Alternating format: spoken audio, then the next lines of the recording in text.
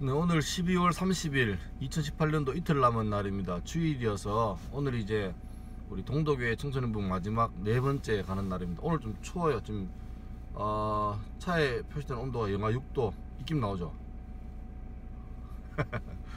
동도교회는 참 어, 12월 들어서 네 번째 연속으로 가는 건데 오늘이 마지막입니다. 그래서 어, 제가 이때까지 했던 그 믿음의 족장에 대한 마지막 오늘 요셉에 대해서 할 건데 어, 제 바람은 그 아이들이 마음속에 어, 가치관에 도전이 되고 믿음으로 살아야 되는 그런 결단이 있기를 바랍니다. 그리고 또 좋은 기억으로 서로 남아서 어, 저도 이 교회 생각하면서 마음에 좀 기도를 하고 그 친구들도 계속해서 자기 청소년 시절을 어, 정말 가치 있게 또 하나님 원하시는 쪽으로 살아야 되겠다는 그런 결심을 하는 그런 계기가 되면 좋겠네요. 시간 참 잘 가죠. 네. 나는 네 번 부탁받았을 때이 아이를 언제 하나 싶었는데 벌써 마지막입니다. 요셉의 인생의 전체를 관통하는 하나 핵심 키워드는 바로 어, 비전입니다. 비전. 하나님께 꿈을 주셨습니다. 요셉에게는 하나님이 주신 꿈이 있었습니다. 여러분 그 지금 물어도 대답을 하겠지. 꿈이 있나요? 꿈이 있나요? 뭐 노래도 그런 거 있잖아. 꿈꾸지 않으면 사는 게 아니라고. 꿈은 뭐예요? 저도 여러분 말할 때 꿈이 참 많았었는데. 어, 요즘에 제일 핫한 장래 희망 중에 크리에이터 크리에이터. 저도 유튜브 하고 있습니다. 열심히 하고 있습니다. 어, 그다음에 또 영원한 꿈이 있죠. 건물주라고 그러죠. 근데 꿈이 많이 바뀌는 것 같아요. 어, 2000년대 초반에는 남자들 거의 꿈이 다 축구 선수였습니다. 뭐 때문에? 월드컵 때문에 박지성 때문에. 그리고 박세리 골프 대박 칠 때는 전부 다 골프 한다고 하고 또 김연아가 그, 그 피겨할 때 아이스링크마다 사람들이 북적북적해서 스케이트를 못할 지경이었습니다. 어, 우리 때는 좀 핫했던 게 뭐냐니까 옛날 사람이지만 과학자, 외교관 이런 게 좀 괜찮았었어요. 그러니까 그러니까 지금 유행하는 꿈도 크리에이터나 뭐 이런 것도 또 바뀔 때가 온단 말이에요. 근데 중요한 건 에, 당시에 유행하는 시대에 맞는 꿈을 꾸는 게 문제가 아니라 그것도 지나갈 거니까. 그 내가 꾸는 꿈이 여러분이 지금 꿈꾸는 꿈이 여러분이 시대를 보면서 전망해가지고 요즘 이게 핫하니까 이게 괜찮겠네 이게 버리게 되니까 이게 좋겠네 그렇게 하는 꿈인가 아니면 하나님 준 꿈인가를 좀 고민해 봐야 됩니다. 특별히 하나님 주신 꿈은 꿈만 있는 게 아니라 내게 이미 주님께서 주신 선물이 있습니다. 그걸 은사라 그러고 우리 흔히 아는 말로 바꾸면 달란트라고 청소년들에게 예수 믿는다는 의미는 단순하게 주일날 아침에 늦잠 못 자고 포기하고 교회 와서 한 1시간, 2시간 정도 종교적인 행위를 한다. 이게 예수 믿는 게 아닙니다.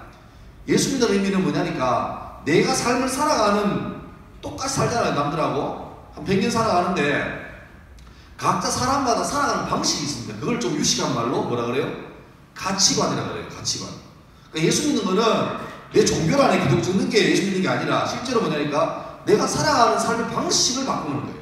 많은 사람이 고등학교 졸업하면서 교회를 졸업해요. 왜 그런 줄 알아요? 그동안에는 엄마 때문에 아빠 때문에 효도 차원에서 교회를 왔어요. 근데 19년 동안 내 마음속에서 예수가 누군지를 알고 아브라함도 알고 다윗도 알고 모세도 알지만 예수 믿는다는 삶의 가치관 변화가 내게 없었기 때문에 귀찮은 거지. 귀찮은 거지. 문화적인 크리스천은 되었지만 새 사람이 안 된 거예요. 하나님이 날 지을 때 그냥 짓잡고 실수로 지은 게 아니에요. 나를 땅에 보내신 계획과 목적이 있습니다. 그리고 내게 잘 살라고 주신 달란트 은사가 있어요. 그럼 이거를 빨리 기도하면서 알아내서 달란트를 잘 살려서 살면 참 재밌어요. 행복해요. 물어볼게요. 여러분 집에 어머니 아버지나 언니 오빠가 있다면 직장에서 있다면 아침에 여러분들 회사나 출근할 때 기쁘게 하던가요?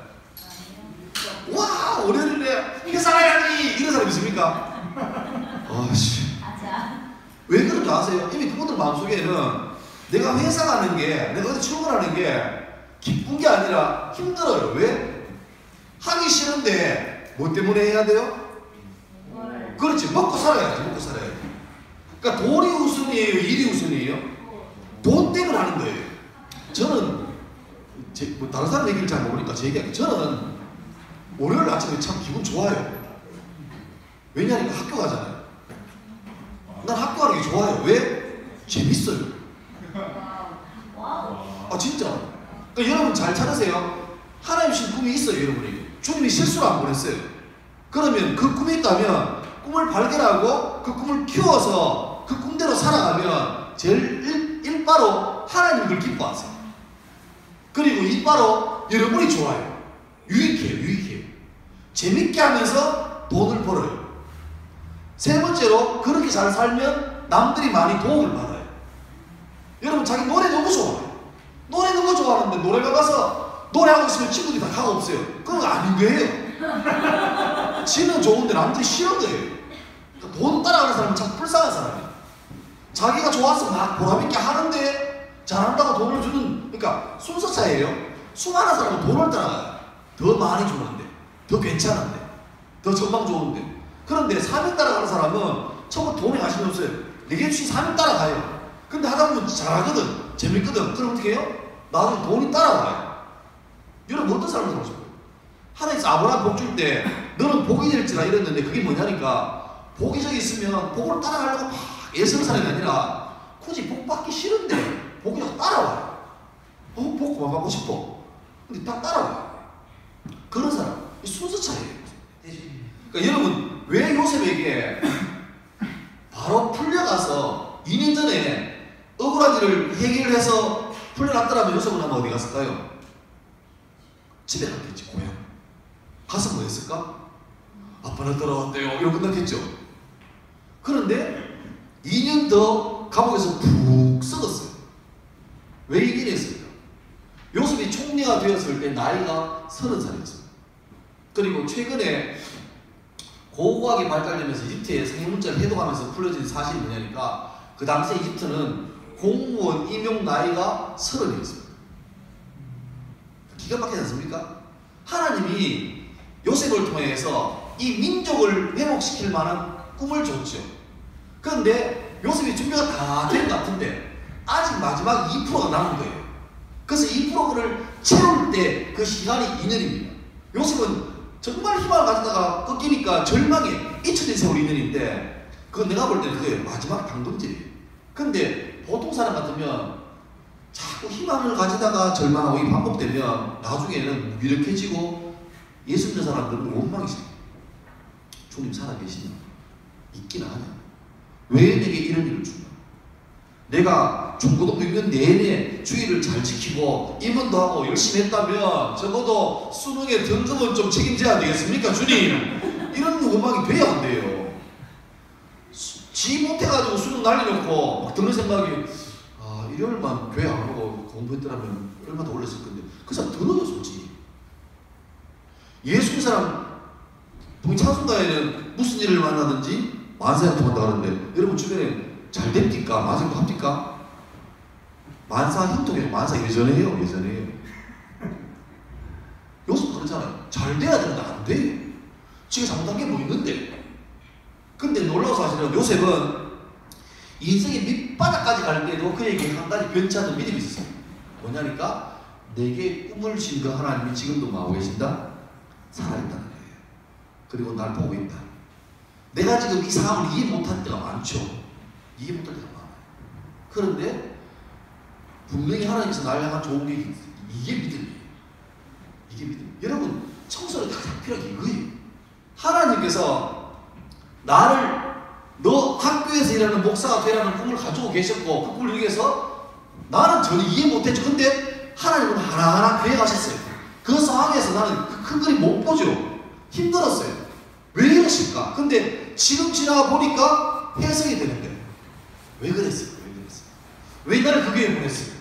왜 나를 저 교회에 보냈을까? 왜 저런 사람 만나게 했을까? 해석이 되는 거예요. 그러니까 기가 막히게 맞아가는 거예요. 또 지금도 마찬가지예요. 나중에 10년 지난 다음에 지금을 돌아보면 왜 그때 동도교회에서 11달 동안 네분 설교했을까? 저 지금도 몰라요. 여러분도 모를 거예요. 근데 하나님께서 지금 살아계시고 우리를 이렇게 보고 계시니까 이 해석은 우리가 순종해서 믿음으로 나가면 나중에는 해석이 다 돼요. 오늘 제가 제목을 뭐로 잡았습니까? 생존이냐 사명이냐. 지금 우리나라에 수많은 전부 다죠. 학교에서 만족시키려고 예습니다. 기술을 가져라. 자격증을 따라. 이걸 해라. 저걸 해라. ITQ를 따고 뭘 따고 뭘 따고 해라. 생존이죠. 그런데 예수 믿는 사람은 단순하게 내가 안 굶어 죽고 이번 달 돈벌이 하려고 생존에 사는 사람이 아니고 예수 믿는 사람은 예수를 믿는 순간 예수 믿는 게 아니라 하나님이 나를 이 땅에 보낼 때 내게 뭘 줬다? 사명을 줬다. 이걸 알아야 돼. 그리고 그 사명을 이루는 게 내가 살아가는 목적이 목적이 그러면 생존을 위해서 거듭거리며 좀더 많이 주는데 좀 더 연봉 센 데로 가는 그런 주신 사명의 자리를 찾아가는 거예요. 비록 그 자리가 돈이 안 되고 인기가 없고 서글퍼도 가는 거예요. 왜? 그래 가야 이- 내가 만드는 목적을 이루는 거예요. 그리고 하나님 계획, 하나님 방법대로 하면 사명의 자리에 서 있어야 복이 따라가요. 나는 목사할 사람인데 내가 목사라고 엔진을 해봐요. 난 지금도 힘들 거야. 월요일마다 아씨 짜증나네 씨 월요일에 이럴 거예요.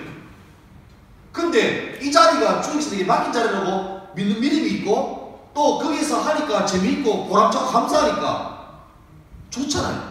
이미 여기 와 여러분 중에 대부분은 과거는 몰라도 여러분의 어머니 아버지가 예수 믿어서 여러분 가정에 예수 믿어서 여러분까지 왔을 거예요. 중요한 건 내까지 흘러왔는데 내 속에 믿음이 없으면 그럼 여기서 끝나는 거예요.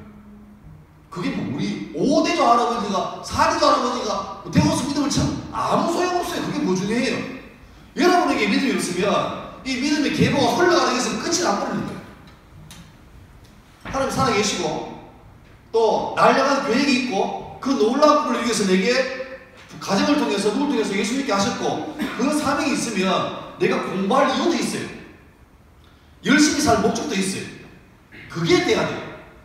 뭐 서울대, 연구대, 경대 가려고 공부하는 게 아니라 내게 준 꿈이 있는데 이 꿈을 이루기 위해서 가만히 못, 왜? 열심히 할수록 더 많이 갑니다. 저는 여러분에게 마지막으로 호소합니다. 하나 정도 여러분이 이걸 사실로 받아들였나 상관없이 살아계시고 여러분 그냥 태어나게 하지 않았습니다. 각자마다 유니크한 독특한 사명을 줬어요.